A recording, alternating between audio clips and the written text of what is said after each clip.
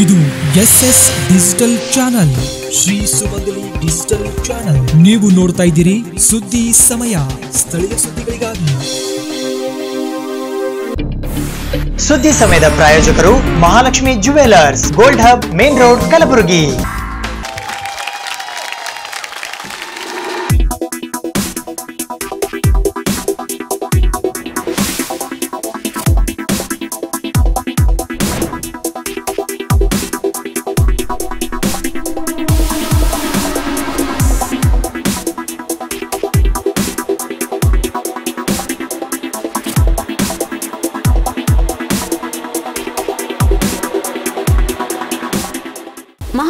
Jewellers gold hub main road Gulbarga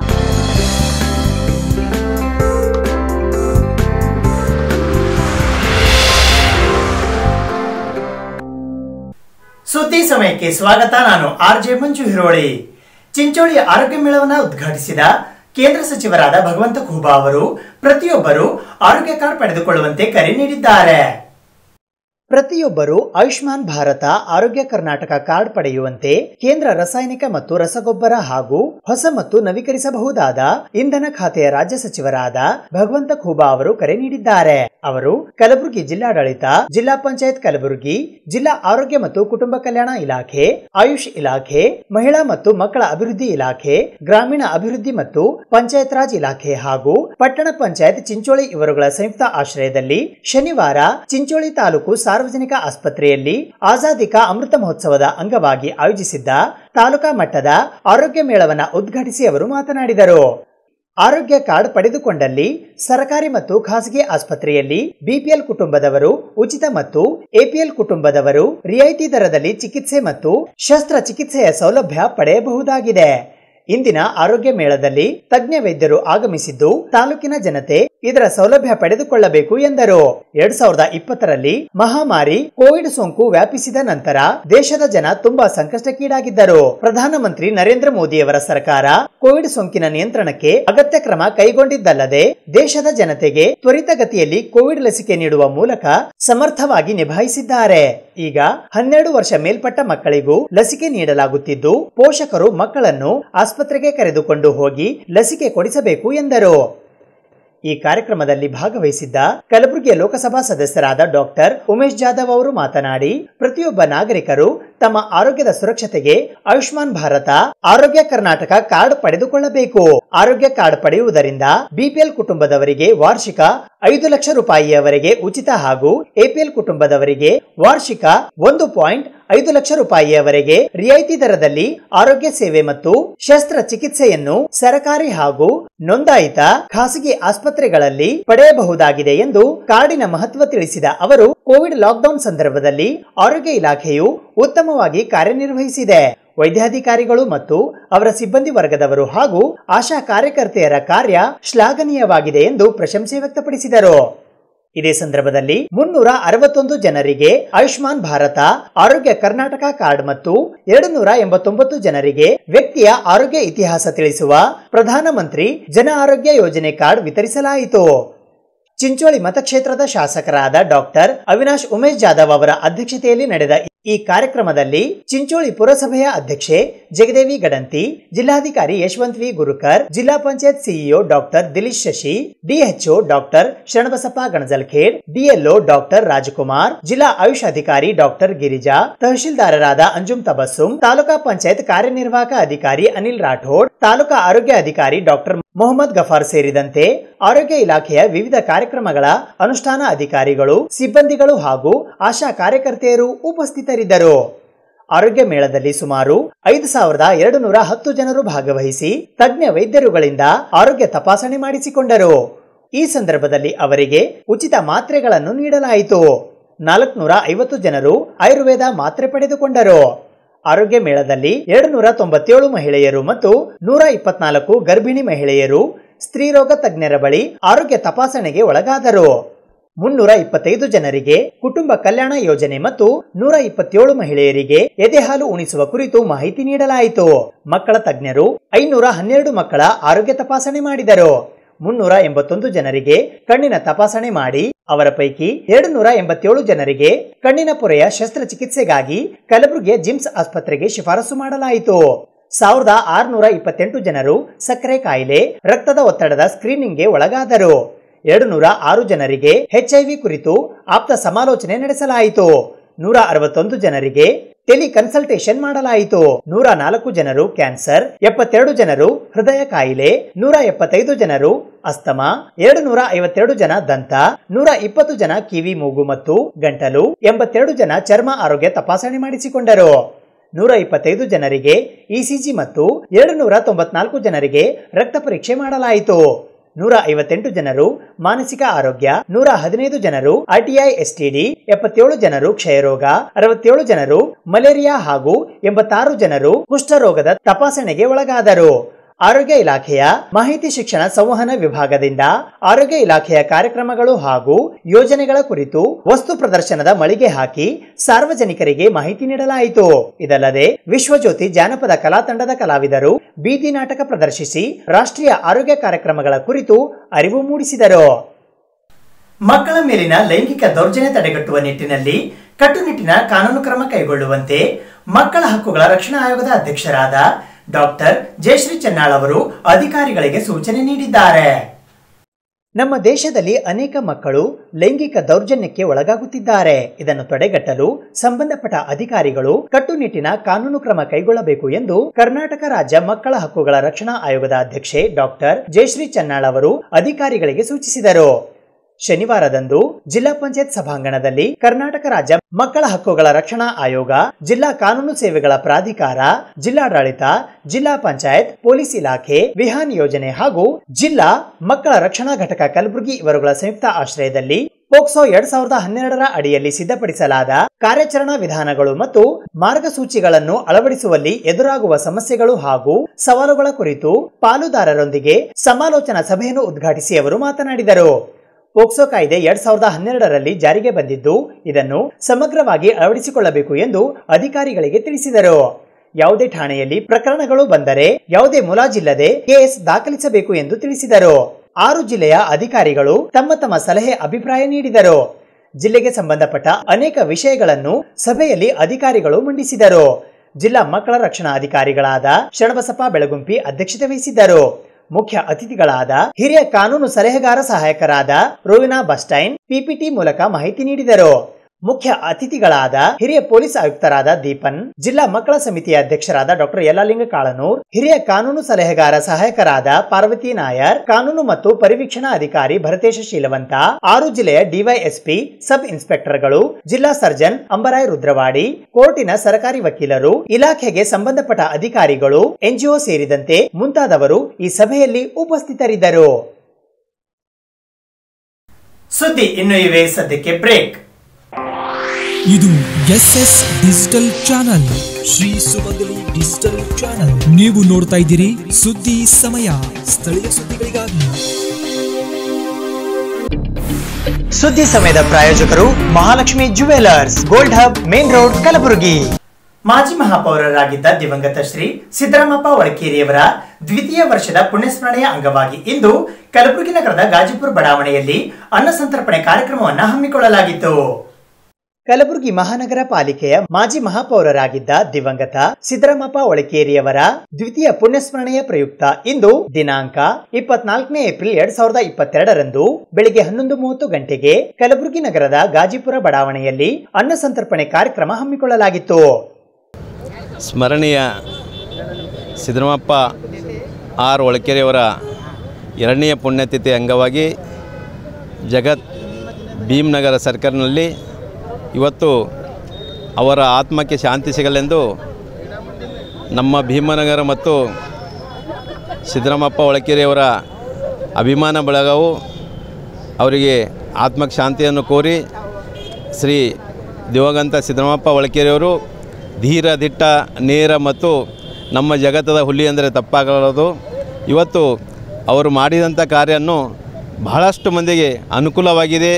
ಅವರು ಗುಲ್ಬರ್ಗದಲ್ಲಿ ನಮ್ಮ ಎಲ್ಲ ದಲಿತರಿಗೆ ಆಶ್ರಯವನ್ನು ಕೊಟ್ಟಂಥ ವ್ಯಕ್ತಿ ಮತ್ತು ಸದಾ ಅವರ ನಡೆ ನುಡಿಯಲ್ಲಿ ಒಂದು ಚಾತುರ್ಯ ಮತ್ತು ಗಾಂಭೀರ್ಯತೆಯನ್ನು ಇತ್ತು. ಅಂಥ ವ್ಯಕ್ತಿ ಇನ್ನೊಮ್ಮೆ ಹುಟ್ಟು ಬರಲಾರದು. ಆ ವ್ಯಕ್ತಿಯನ್ನು ಬಡ ಮತ್ತು ದೀನ ದಲಿತರ ಬಗ್ಗೆ ಯಾವತ್ತು ಸದಾ ಕಾಜಿಯನ್ನು ಇದ್ದು, ಇವತ್ತು ಅವರಿಂದ ಅನೇಕ ಜನರು ಉದ್ಧಾರ ಆಗಿದ್ದಾರೆ. ರಾಜಕೀಯವಿರಲಿ ಸಾಮಾಜಿಕವಾಗಿರಲಿ ಇಂಥ ವ್ಯಕ್ತಿಯನ್ನು ನಾವು ಸ್ಮರಿಸೋಣಂದೆವು ಮತ್ತೊಮ್ಮೆ ಅವರ ಆತ್ಮಕ್ಕೆ ಶಾಂತಿ ಸಿಗಲೆಂದು ನಾನು ವಿನಂತಿಸುತ್ತೇನೆ. ನಂತರ ಕಲಬುರಗಿ ನಗರದ ಜಗತ್ ವೃತ್ತದಲ್ಲಿ ಮಾಜಿ ಮಹಾಪೌರರಾದ ದಿವಂಗತ ಶ್ರೀ ಸಿದ್ದರಾಮಪ್ಪ ಒಳಕೇರಿಯವರ ಭಾವಚಿತ್ರಕ್ಕೆ ಪೂಜೆ ಸಲ್ಲಿಸಲಾಯಿತು. ಈ ಸಂದರ್ಭದಲ್ಲಿ ಜಗದೀಶ್ ಒಳಕೇರಿ ಭವಾನಿ ಒಳಕೇರಿ ಸಂಜುಕುಮಾರ್ ಒಳಕೇರಿ ಅಜಯ್ ಒಳಕೇರಿ ಆಜಾದ್ ಒಳಕೇರಿ ಸಿದ್ಧಾರ್ಥ ಒಳಕೇರಿ ಸುಭಾಷ್ ಒಳಕೇರಿ ನಾಗರಾಜ್ ಸಿರ್ಗಾಪುರ, ರಾಘವೇಂದ್ರ ಹೆಬ್ಬಾಳ್, ಸಚಿನ್ ಫರ್ತಾಬಾದ್, ಮಂಜುನಾಥ್ ನಾಲ್ವಾರ್ಕರ್ ಹಾಗೂ ಸುಪುತ್ರರಾದ ಗಣೇಶ್ ಒಳಕೇರಿ ಧರ್ಮಪತ್ನಿ ಮಲ್ಲಮ್ಮ ಎಸ್ ಒಳಕೇರಿ ಮೂರ್ತಿ ಒಳಕೇರಿ ಸೇರಿದಂತೆ ಕುಟುಂಬದ ಸದಸ್ಯರು ಉಪಸ್ಥಿತರಿದ್ದರು.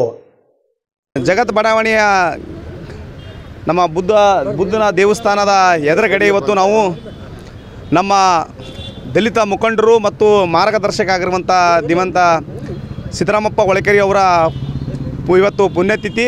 ಇವತ್ತು ನಾವು ಎಲ್ಲರೂ ಬಡಾವಣೆಯ ಹಿರಿಯರು, ನಾಗರಿಕರು ಮತ್ತು ಎಲ್ಲ ನಮ್ಮ ತಾಯಂದಿರು ಇವತ್ತು ನಾವು ಅವರ ಆತ್ಮಕ್ಕೆ ಶಾಂತಿ ಸಿಗಬೇಕು ಮತ್ತು ನಮಗೆ ಎಲ್ಲ ಅವರ ದುಃಖನೂ ಮರೆಯಂಥ ಶಕ್ತಿ ಮತ್ತು ತಾಳಂಥ ಶಕ್ತಿ ಕೊಡಬೇಕು ಅನ್ನೋದಂಥ ಭಾವನೆಯಿಂದ ಯಾಕಂತಂದರೆ ಇವತ್ತು ಅವರಂತ ಮಾಡಂಥ ಕಾರ್ಯಗಳು ಸುಮಾರು ಇವತ್ತು ಸುಮಾರು ಇದೆ. ಯಾಕಂತಂದರೆ ನಮ್ಮ ದಲಿತ ಬಡಾವಣೆಯಲ್ಲಿ ಮತ್ತು ದಲಿತರದಲ್ಲಿ ಫಸ್ಟು ಯಾರ್ಯಾವರು ಮೇಯರ್ ಆಗ್ಯಾರ ಅಂತಂದ್ರೆ ನಮ್ಮ ನಮ್ಮ ಒಳಕೆರಿ ಸಾಬರು ಆಗಿದ್ದಾರೆ. ಅವರು ಮಾಡಂಥ ಕಾರ್ಯಗಳು ಏನಿವತ್ತು ನಮ್ಮ ಬಡಾವಣೆ ಇರೋಂಥ ನಾವು ಜಗತ್ ಬಡಾವಣೆ ಇದ್ದವರೆಲ್ಲ ಸುಂದರ್ ನಗರ ಬಡಾವಣೆಗೆ ಹೋದಾಗ ನಂತರ ಅಲ್ಲಿರುವಂಥ ಬಾಪು ನಗರ್ ನಗರ ನಗರ್ ಸುಮಾರು ಬಡಾವಣೆಯಲ್ಲಿ ಮತ್ತು ಗುಲ್ಬರ್ಗ ನಗರದಲ್ಲಿ ಅವರು ಮೊಟ್ಟ ಮೊದಲ ಮೇಯರ್ ಆದ ನಂತರ ದಲಿತರಿಗೆ ಯಾವ ರೀತಿ ಸವಲತ್ತು ಕೊಡಬೇಕು, ಯಾವ ರೀತಿ ದಲಿತರ ಬಗ್ಗೆ ನಾವು ಛಲ ತುಂಬಬೇಕು, ಶಕ್ತಿ ತುಂಬಬೇಕು ಅನ್ನೋದಂಥದ್ದು ಒಂದು ಮಾರ್ಗದರ್ಶಕ ನೀಡುತ್ತಾ ಅವರು ಇವತ್ತು ಇದ್ದಾಗ ನಮ್ಮ ಹಿಂದೆ ಏನೋ ಒಂದು ಒಂದು ಶಕ್ತಿ ಇದೆಯಪ್ಪ ಅಂತಂದು ಅನಿಸ್ತಿತ್ತು. ಆದರೆ ಈಗ ಅವರಿಗೆ ಕಳ್ಕೊಂಡ ನಂತರ ಏನಪ್ಪ ನಮಗೆ ಯಾರೋ ಒಬ್ಬರ ಹಿಂದೆ ಒಂದು ಶಕ್ತಿ ಹೋಗಿದೆ ಅನ್ನೋದಂಥದ್ದು ನಮಗೀಗ ಭಾವನೆ ಬರ್ತಾ ಇದೆ. ಅವ್ರು ನಿರಂತರ ನಿರಂತರ ಕೆಲಸಗಳಿರ್ಬೋದು, ಯಾವುದೇ ಒಂದು ಜಯಂತಿ ಇರ್ಬೋದು, ಯಾವುದೇ ಒಂದು ಬಡವರಿಗೆ ಅನ್ಯಾಯ ಆದಾಗ, ದಲಿತರಿಗೆ ಅನ್ಯಾಯ ಆದಾಗ ಅಂದ್ರೆ ಧನಿ ಎತ್ತಿ ಅವ್ರಿಗೆ ನ್ಯಾಯ ದೊರೆಸಂಥ ಕೆಲಸಗಳು ನಮ್ಮ ಒಳಕೇರಿ ಸಾಬರು ಮಾಡ್ತಿರೋ, ಅದಕ್ಕೆ ಅವರಿಗೆ ಆತ್ಮಕ ಶಾಂತಿ ಸಿಗಲಿ. ಮತ್ತು ಇಲ್ಲಿ ಬಂದಿರುವಂಥ ಎಲ್ಲರೂ ಅವರು, ಅವ್ರ ಬಗ್ಗೆಗೆ ಪ್ರಾರ್ಥನೆ ಮಾಡೋಣ. ಅವ್ರ ಕುಟುಂಬದಲ್ಲಿರುವಂಥ ನಮ್ಮ ಗಣೇಶ್ ಅಣ್ಣರು ತಂದೆ ಸ್ಥಾನಕ್ಕೆ ಅವ್ರಿ, ಅವರಿದ್ದಾರೆ ಈಗ. ಈಗ ಅವರಿಗೆ ಸರ್ ತಂದೆಯವ್ರು ಏನು ಕೆಲಸ ಮಾಡ್ತಿದ್ದರು, ಅದೇ ರೀತಿಯಾಗಿ ನಮ್ಮ ಗಣೇಶ್ ಒಳಕೇರಿ ಸರ್ ಅದೇ ರೀತಿ ಕೆಲಸ ಮಾಡ್ತಿದ್ದಾರೆ. ಬಡಾವಣೆಯಲ್ಲಿ ಯಾವುದು ತೊಂದರೆ ಆದಾಗ, ಮತ್ತು ನಮ್ಮ ಜನರಿಗೆ ಮುಂದೆ ಬರೋಂಥ ಕೆಲಸಗಳಲ್ಲಿ ಯಾವುದೇ ಸಾಲಿ ವಿದ್ಯಾಭ್ಯಾಸ ಆಗದಿರ್ಬೋದು ಯಾವುದೇ ತೊಂದರೆ ಆದಾಗ, ನೌಕರಿದು ಯಾವುದೇ ತೊಂದರೆ ಆದಾಗ ಅವರು ಎದುರು ಬಂದು ಕೆಲಸ ಮಾಡ್ತಾಯಿದ್ದಾರೆ ಅವರಿಗೂ ಇವತ್ತು ಶಕ್ತಿ ಕೊಳ್ಳಿ ನಮ್ಮ ತಾಯಿಯವ್ರಿಗೆ ಶಕ್ತಿ ಕೊಳ್ಳಿ ಅವ್ರ ಕುಟುಂಬಕ್ಕೆ ಶಕ್ತಿಯನ್ನು ಕೊಟ್ಟು ಮುಂದಿನ ದಿನದಾಗಿ ಅದೂರಿಯಾಗಿ ನಾವು ಇನ್ನೊಂದು ಸಲ ಪುಣ್ಯತಿಥಿ ಜಯಂತಿಯನ್ನು ಮಾಡೋಣ. ಅವ್ರ ಹುಟ್ಟುಹಬ್ಬನೂ ಆಚರಣೆ ಮಾಡೋಣ. ಯಾಕಂತಂದರೆ ಈಗ ನಮ್ಮ ಭಾಗಕ್ಕೆ ಅವ್ರಿಗೆ ದೊಡ್ಡ ವ್ಯಕ್ತಿ ಮತ್ತು ಸಾಧನೆ ಮಾಡ್ರಂತಂದ್ರೆ ನಂಬಲ್ಲಂದ್ರೆ ಅವರೇ. ಅದಕ್ಕೆ ಅವ್ರದ್ದು ಮುಂದಿನ ದಿನದಲ್ಲಿ ದೊಡ್ಡ ಪ್ರಮಾಣದಲ್ಲಿ ನಾವು ಕಾರ್ಯಕ್ರಮ ಮಾಡ್ಕೋತಾ ಹೋಗೋಮ. ಅವ್ರ ಹೆಸರು ಅಮಾರವಾಗಿ ಅವ್ರ ಹೆಸರು ಹಿಡ್ಕೋತಾ ನಾವು ಇಡೋಣ. ಮುಂದಿನ ಪೀಳಿಗೆಗಳಿಗೂ ಅದು ಗೊತ್ತಾಗಬೇಕು. ಅವ್ರ ಒಳಕೆರೆ ಸರ್ ಅವ್ರು ಏನು ಕೆಲಸ ಮಾಡಿದ್ದಾರೆ, ಏನೇನು ಮಾಡಿದಿಲ್ಲ ಅಂತಂದು, ಮಾಡಿದ್ದಾರೆ, ಏನು ಜನರಿಗೆ ಕೊಟ್ಟಿದ್ದಾರೆ ಅನ್ನೋಂತಂದು ಹೇಳಬೇಕಾದ್ರೆ ಅವರು ನಮ್ಮ ಜೊತೆ ಇರೋಂಥ ಕೆಲಸಗಳು ಮಾಡಬೇಕು ಮತ್ತು ಅವ್ರಿಗೆ ಮ, ನಮ್ಮ ಮನಸ್ಸಲ್ಲಿ ಇಟ್ಕೋಬೇಕು ಅನ್ನೋಂಥದ್ದು ಅವ್ರ ಆತ್ಮಕ ಶಾಂತಿ ಸಿಗಲಿ ಮತ್ತು ಎಲ್ಲರೂ ಇಲ್ಲಿ ಬಂದಿರುವಂಥವ್ರು ಎಲ್ಲರಿಗೆ ನಾನು ಹೃದಯಪೂರ್ವಕ ಧನ್ಯವಾದ ಹೇಳ್ತೀನಿ. ಬಂದು ಕಾರ್ಯಕ್ರಮಕ್ಕೆ ಅಟೆಂಡ್ ಆಗಿ ಅವರಿಗೆ ಒಂದು ಪ್ರೇಯರ ಮೂಲಕ ಅವರ ಆತ್ಮಕ್ಕೆ ಶಾಂತಿ ಸಿಗಲಿ ಮತ್ತು ಅವರ ಕುಟುಂಬಕ್ಕೆ ಶಕ್ತಿ ಕೊಡಲಿ ಅಂತಂದು ಈ ಮೂಲಕ ನಾನು ಬೇಡ್ಕೊತೀನಿ. ಇಂದು ಕಲಬುರಗಿ ಮಹಾನಗರ ಪಾಲಿಕೆಯ ಮಾಜಿ ಮಹಾಪೌರರಾದಂಥ ದಿವಂಗತ ಶ್ರೀ ಸಿದ್ದರಾಮಪ್ಪ ಒಳಕೇರಿಯವರ ದ್ವಿತೀಯ ಪುಣ್ಯಸ್ಮರಣೆ ಕಾರ್ಯಕ್ರಮದ ಅಂಗವಾಗಿ ಜಗತ್ ವೃತ್ತದಲ್ಲಿ ಮತ್ತು ಗಾಜಿಪುರ ಬಡಾವಣೆಯಲ್ಲಿ ಅವರ ದ್ವಿತೀಯ ಪುಣ್ಯಸ್ಮರಣೆಯ ಪ್ರಯುಕ್ತವಾಗಿ ಅನ್ನ ಸಂತರ್ಪಣೆ ಕಾರ್ಯಕ್ರಮವನ್ನು ಹಮ್ಮಿಕೊಳ್ಳಲಾಗಿತ್ತು. ಈ ಸಂದರ್ಭದಲ್ಲಿ ಅನೇಕರು ಇವತ್ತು ಕುಟುಂಬ ಸದಸ್ಯರಾದಂಥ ಅವರ ಧರ್ಮಪತ್ನಿಯರು, ತಾಯಿಯರಾದಂಥ ಮಲ್ಲಮ್ಮ ಸಿದ್ದರಾಮಪ್ಪ ಒಳ್ಕೇರಿಯವರು ಮತ್ತು ಅದೇ ರೀತಿ ನನ್ನ ಸೋದರಂಥ ಗಣೇಶ್ ಒಳ್ಕೇರಿಯವರು ಮತ್ತು ಮತ್ತು ಅನೇಕ ಮುಖಂಡರು ಈ ಒಂದು ಕಾರ್ಯಕ್ರಮದಲ್ಲಿ ಭಾಗಿಯಾಗಿದ್ದಾರೆ. ಅವರು ನಡೆದು ಬಂದಂಥ ದಾರಿಗಳು, ಅವರು ಕೊಟ್ಟಂಥ ಯೋಜನೆಗಳನ್ನು ನಾವೆಲ್ಲರೂ ಕೂಡ ಪಾಲನೆ ಮಾಡೋ ಮೂಲಕವಾಗಿ ಅವರ ದಾರಿಯಲ್ಲಿ ನಾವು ಬಡವರ, ದಲಿತರ ಮತ್ತು ವಿಶೇಷವಾಗಿ ಬಡವರ ಬಗ್ಗೆ ಅಪಾರದಂಥ ಕಾಳಜಿಯನ್ನು ಹೊಂದಂಥ ಸಿದ್ದರಾಮಪ್ಪ ಹೊಳ್ಕೆಯವರ ಒಂದು ಅವರ ನಡೆದು ಬಂದ ದಾರಿಯನ್ನು ಈಗಾಗಲೇ ಅವರ ಸುಪುತ್ರಂಥ ಗಣೇಶ್ ಒಳ್ಕೆರೆಯವರು ಎಲ್ಲರನ್ನ ತೆಗೆದುಕೊಂಡು ಹೋಗ್ತಾ ಇದ್ದಾರೆ. ದೇವರು ಅವರ ದಿನ, ಅವರಲ್ಲಿ ಮುಂದಿನ ದಿನಗಳಲ್ಲಿ ಅವರಿಗೆ ರಾಜಕೀಯ ಭವಿಷ್ಯವನ್ನು ಉಜ್ವಲವಾಗಲಿ ಅಂತೇಳಿ ಪ್ರಾರ್ಥಿಸುತ್ತಾ ಅವರ ಕುಟುಂಬಕ್ಕೆ ಎಲ್ರಿಗೂ ಕೂಡ ದುಃಖ ನಿವರಿಸುವಂಥ ಶಕ್ತಿಯನ್ನು ಭಗವಂತ ನೀಡಲಿ ಅಂತೇಳಿ ಪ್ರಾರ್ಥಿಸ್ತೇನೆ. ಕಳೆದ ಹತ್ತಾರು ವರ್ಷಗಳಲ್ಲಿ ಅಕ್ರಮ ರೀತಿಯಲ್ಲಿ ಪರೀಕ್ಷೆ ಉತ್ತೀರ್ಣರಾದ ಅಭ್ಯರ್ಥಿಗಳ ಬಗ್ಗೆ ತನಿಖೆ ನಡೆಸಿ ಸೂಕ್ತ ಕ್ರಮ ಕೈಗೊಳ್ಳುವಂತೆ ಆಮ್ ಆದ್ಮಿ ಪಕ್ಷ ಕಲಬುರಗಿ ಆಗ್ರಹಿಸಿದೆ. ಕಳೆದ ಹತ್ತಾರು ವರ್ಷದಲ್ಲಿ ಅಕ್ರಮ ರೀತಿ ಪರೀಕ್ಷೆಯಲ್ಲಿ ಉತ್ತೀರ್ಣರಾದ ಅಭ್ಯರ್ಥಿಗಳ ಬಗ್ಗೆ ತನಿಖೆ ನಡೆಸಿ ಸೂಕ್ತ ಕ್ರಮ ಕೈಗೊಳ್ಳುವಂತೆ ಆಮ್ ಆದ್ಮಿ ಪಕ್ಷದ ಯುವ ಘಟಕದ ಅಧ್ಯಕ್ಷರಾದ ಶರಣ್ ಐಟಿ ಅವರು ಶನಿವಾರ ಕಲಬುರಗಿ ನಗರದ ಪತ್ರಿಕಾ ಭವನದಲ್ಲಿ ಜರುಗಿದ ಸುದ್ದಿಗೋಷ್ಠಿ ಮೂಲಕ ಒತ್ತಾಯಿಸಿದ್ದಾರೆ.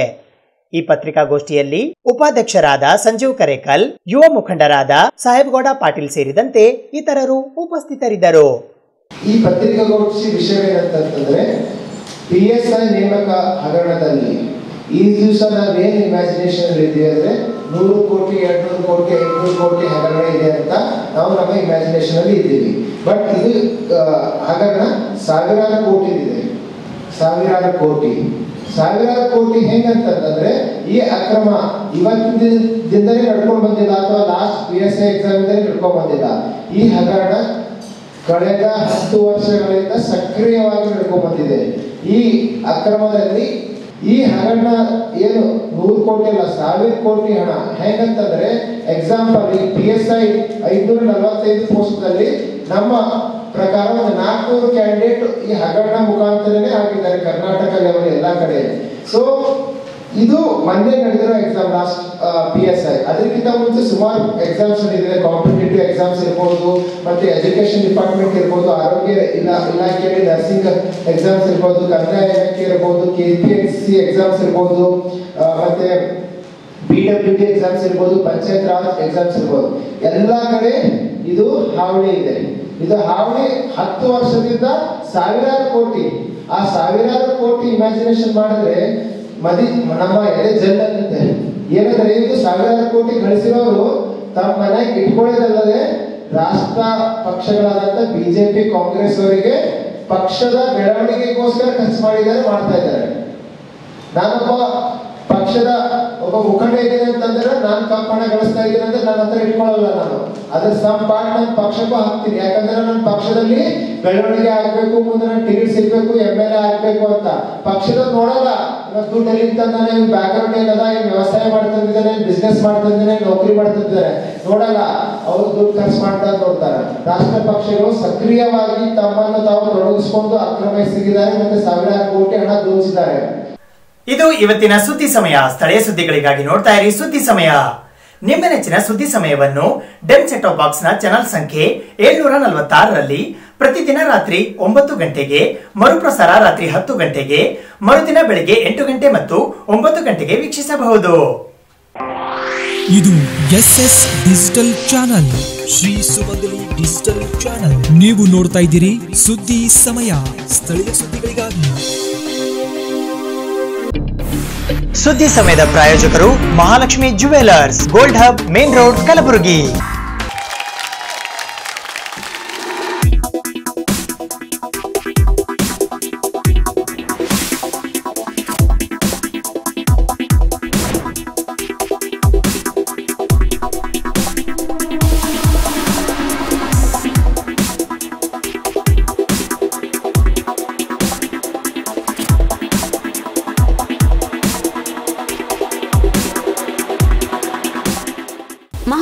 Mahalakshmi jewellers gold hub main road Gulbarga